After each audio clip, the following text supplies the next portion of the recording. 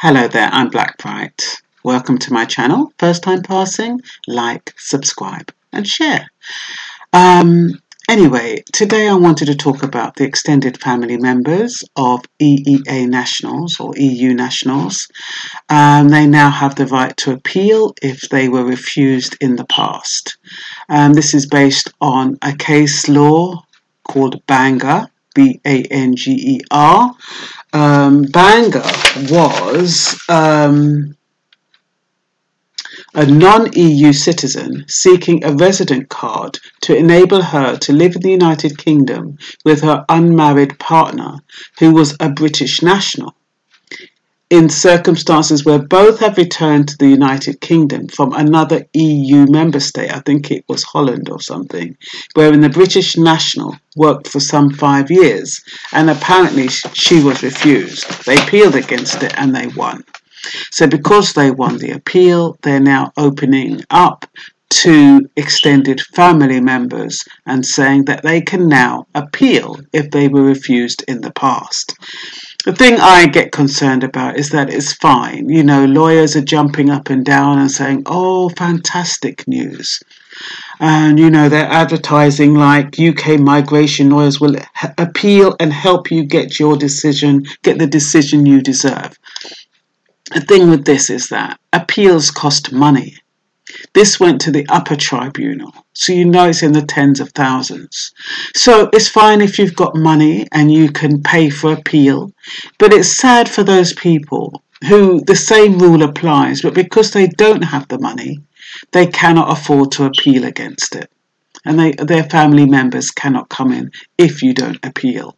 So that's the unfair part of it. You know, I know that the immigration the Home Office, they are seeking to bring in people into the country as long as they've got money. And I guess this is a way, one way of discerning whether or not someone's got money. They've got money to appeal, they are more or less entitled to come into the country. So, on the one hand, it looks like great news. You know, you can go out there, you know, all come in, but it's not that easy. You can all appeal. They make it sound like, oh, it's great. You can appeal. They're encouraging people to appeal. It costs a lot of money. And people cannot always afford it. A few exceptions can afford it, but anyway.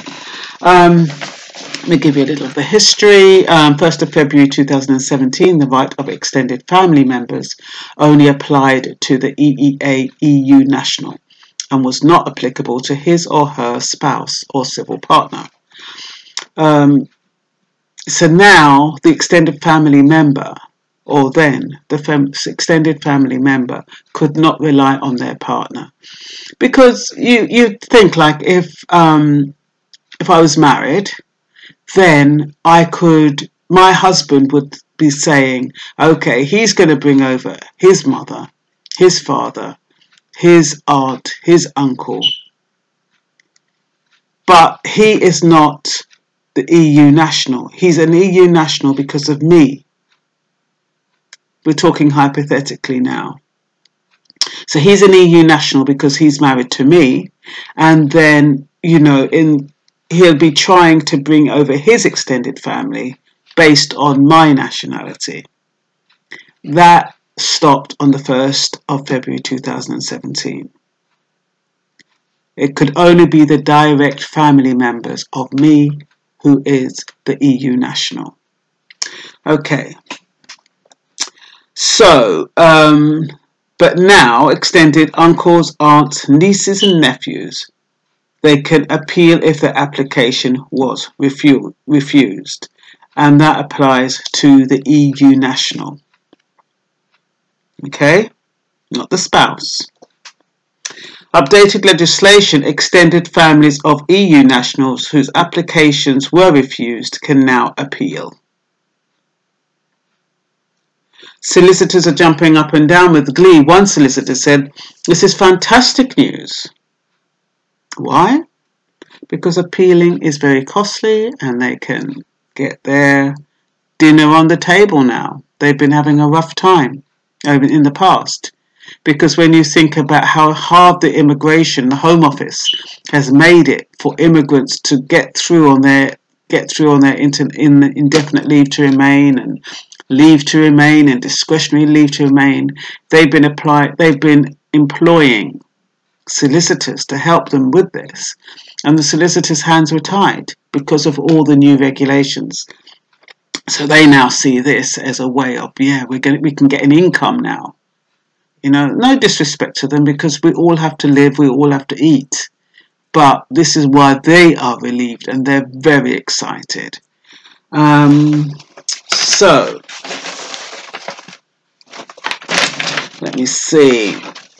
This is significant. The Immigration European Economic Area Nationals EU Exit Regulations 2019 the most important of the changes are to give non-EU extended family members of EU citizens a right of appeal against refusal of a family permit. Now, I think a lot of people are looking at that and thinking, oh yeah, it applies to extended family members of the spouse. It does say specifically the extended family members of the EU national. Okay, uh, by this reference, the Immigration and Asylum Chamber. Oh, I said that one, didn't I? Okay. In section Appeal Rights, the text from the 29th of March 2019 extended family members applying for a family permit resident card or registration certificate may be eligible for a right of appeal against the refusal of such document if they meet the criteria of Regulation 36 uh, in brackets 4 of the 2016 regulations and has been added to reflect the 2019 amendments to the Immigration European Economic Area Regulations 2016. So this does um, only apply to E EEA and EU nationals. But the thing is that criteria of regulation 36 um, in brackets 4 I don't know what that is. That's why I always say I'm not a I'm not a legal um, I'm not a lawyer. I don't have immigration experience. I just share information. And if you're if you're unclear, you just need to you can Google it even. You can just Google it 30 what is 36 bracket 4 of the Immigration Regulations 2016, and it will tell you. But I think it's just to reiterate that it does apply to the EEA national, providing you are there, um, you are a direct descendant of the EEA national or a carer of a di- and you cannot get um, you, that's the only way you can stay in the country through the through caring for a British national. That's all that is to do with. But please do read it because, like you say, I just gloss over things. I'm very simplistic, um, and that is why you need a lawyer. And always go to www.gov.uk. Don't um, let other um, lawyers in, you know, jump on you and try to get your money make sure that they are registered with the Law Society because there are a lot of people out there who, sad to say, are not kosher. Um, the facts. The respondent is Rozanne Banger. This is how the appeal got overturned. Um, well, the, the rules regarding extended families got overturned. Um, the respondent is Rozanne Banger, a national of South Africa, aged 50 years. Her partner was is Mr. Philip Rado, a British national and hence a EU citizen, with whom she resided in South Africa between 2008 and 2010. In May 2010, Mr. Rado, having accepted a work assignment in the Netherlands, and Miss Banger migrated to that EU member state. So it looks like, just to round it up, we have Rozanne Banger. She she's South African. She met British she met Philip Rado, who's a British national. They weren't married, but they lived together for two years in South Africa. He then got a work assignment in um, an EU EU country, and she followed him to that EU country. Okay, um, they lived together there for a period of five years. During which the respondent was granted a Dutch resident card in her capacity of extended family member of an EU citizen. Now that's interesting that they would class uh, somebody who lives with you, who is in, you know, who is your partner. Okay, you're not married to her, but they classify that as an extended family member. That is weird, isn't it? Because I would have thought just because just because I'm not living with a person, that's my direct. Um, that's my direct. You know, if I was to put it on my next of kin, he would be my next of kin. So to me, he's direct, not because I'm not married to him. So what they have, what they, what they did was by law, they're saying she's an extended family member. And I think that is why they had to overturn it. In 2013, following a sojourn of some three years in the Netherlands, so they stayed in the Netherlands for three years. This is where why they got the Dutch. Well, this is why the national got the Dutch permit, and because it's all EU, they're entitled for free movement into the UK. So, the respondent and Mr. Rado decided to move together to the, to the United Kingdom. The respondent applied to the Secretary of State for a resident card. That's Banger. And this application was refused on the sole ground that she was the unmarried partner of Mr. Rado. So they refused her because, as far as they were concerned, she wasn't a direct relative of the EU national. So that's not good, is it? That's not good because it's almost like they're forcing you to get married. You can't live with somebody and expect to get your citizenship or expect to gain entry into the country if you're not married. That's basically what it's saying. Anyway, the Secretary of State's decision the Secretary of State refused the respondent's application for a resident card in the following terms. Your application has been considered under Regulation 9, which states that to qualify as a family member of a British citizen, you must show that you are either the spouse or civil partner of the British citizen. An unmarried partner is not recognised as the family member of a British citizen. You do not have the basis of stay in the United Kingdom under the European Economic Regulations 2006. That's dread, isn't it? So even though we live in a modern society, so to speak, you have lots of people living together, lots of people not married. What this is actually saying is actually upholding traditional standards of marriage. That's what it's really doing. But I guess, to be honest, in their in their you know, in their what you call it, their support or whatever. I mean, anybody could say, you know, I'm living with this person, and they're not, just as a way to come into the country. I understand it from that perspective because that could happen. But at the same token, didn't look good for that lady. Anyway, by Article 20 of the Treaty on the Functioning of the European Union, Union TFEU, Every national of an EU member state is a citizen of the Union, a status which confers the right to move and reside freely within the territory of the member states, the right to freedom of movement of workers and the associated benefit which may be enjoyed by certain of their family members are regulated by Directive 2004 oblique 38 oblique EC of the Citizens Directive. In deciding to make this reference, a tribunal has given particular consideration to Articles 2 and 3 of the Citizens Directive. So, every national of an EU member state is a citizen of the Union. The statute which confers the right to move and reside freely within the territory of the member states.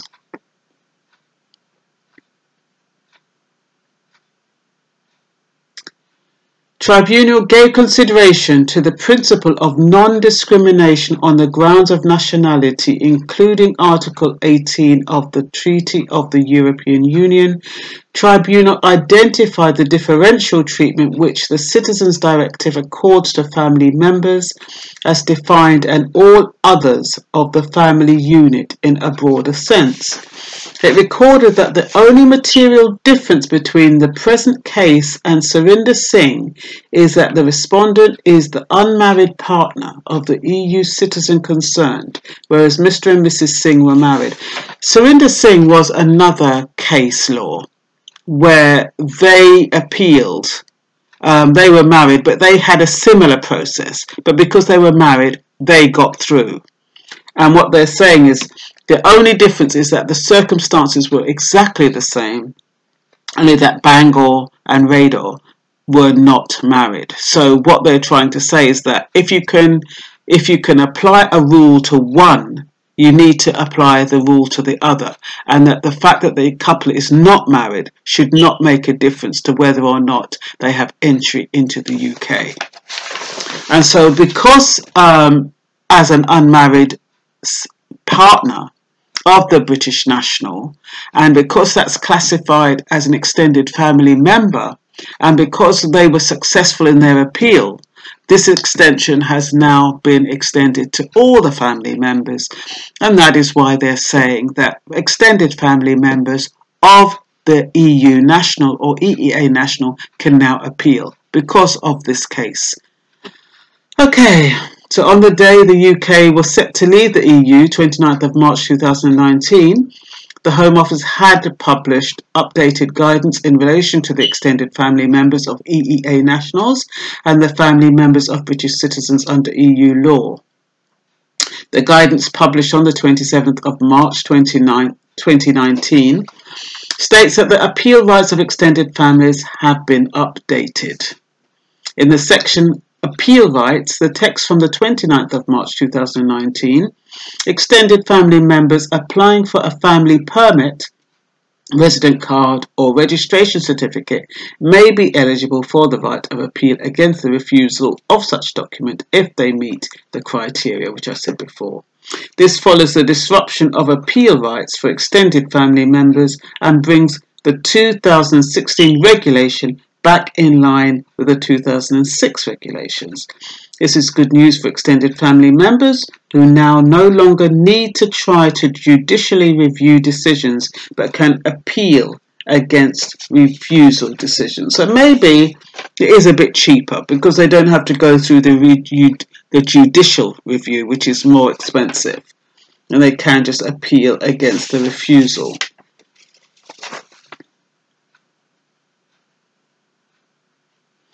The time these changes will have effect may well be limited, but they at least mean that citizens' rights should be better protected until Brexit fallout is known. So it looks like you have to get on, if you are interested, you have to get on the ball quickly because it seems as though if we leave Brexit, all of this is going to change. So those of family, extended family members who think they might have a chance because they are related directly related to the EEA national or EU national and they want to live in the UK, they get a, better get on board quick because um, we don't know what's happening with the EU if, if, if the UK leaves the EU.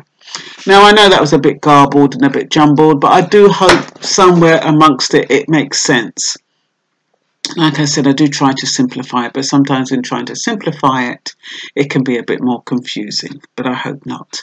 Like I said, always get in touch with an immigration lawyer if you have concerns. I do get people writing to me and asking me about immigration questions.